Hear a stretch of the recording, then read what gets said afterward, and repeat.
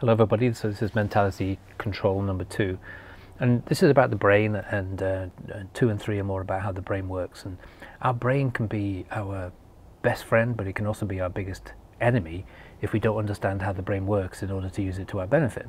Most people don't and uh, let the brain do whatever it wants and when you do that you kind of lose mentality control. The first thing I want to talk about are mirror neurons. So in the front of our brain here is a group of neurons they're called mirror neurons, and they're a kind of learning center. They're the things that allow us to watch someone in front of us trip over a rock, and then we don't have to have the same experience to understand that tripping over a rock is a bad thing. We see somebody do it, we observe it, and we learn without having to have the same experience. And so we step around the rock.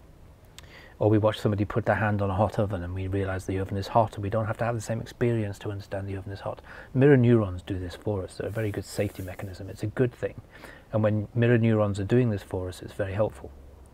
But mirror neurons uh, also cause us to latch on to things, to get close and observe and learn.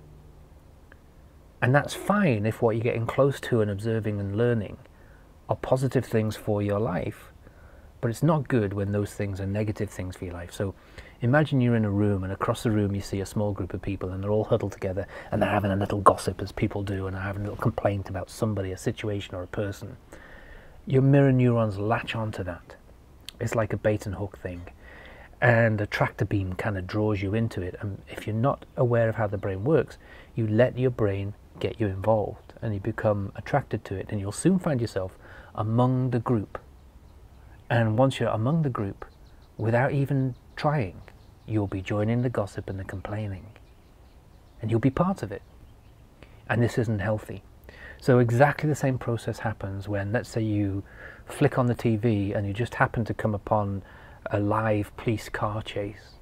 Your mirror neurons are observing and learning and they'll pull you into it and you'll be paralyzed by it and you won't be able to break away because they hold you into it so you can learn from it. The drama hooks you in um, in a way that can be really unhealthy to you. It's it's really hard to pull yourself away. So mirror neurons are what make us learn and mimic behaviors of others, and and they become um, you know we can become a product of our environment simply because we don't try to control our mentality with our mirror neurons. So if we are exposing our mirror neurons to successful people, biographies and inspiring TED talks, looking at things we don't yet have yet but would like. You know, let's let's let's go and look at a, a, a, you know, let's say let's say your dream car is an Aston Martin. Let's go to the Aston Martin garage and let's expose our mirror neurons to what it feels like to sit in an Aston Martin. That's good stuff. That's really going to help. It's going to speed up your success. But if you expose them instead to sensationalist TV news headlines, or gossipers and complainers, uh, daily death counts for a virus, um, shoot 'em up movies, well, guess what? You're not going to achieve success in the way that you desire.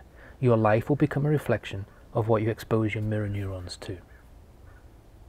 It's remarkably simple, but most people don't understand this process, and so they just let the brain do whatever the brain wants to do. But the brain is yours, it sits on top of your neck. You have control, it's up to you how you use it.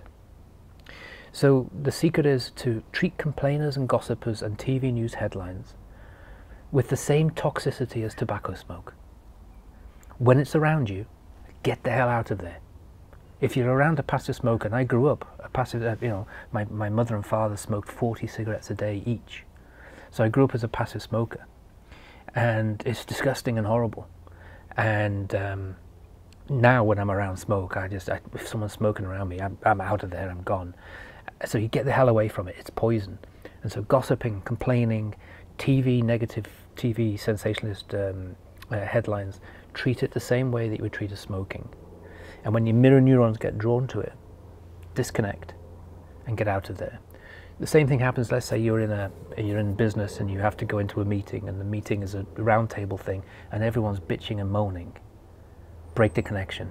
Excuse yourself, go to the bathroom for five minutes. Or go better still, go out you know, go outside and get some fresh air. But break that connection. Your mirror neurons are incredibly strong, they're like a tractor beam.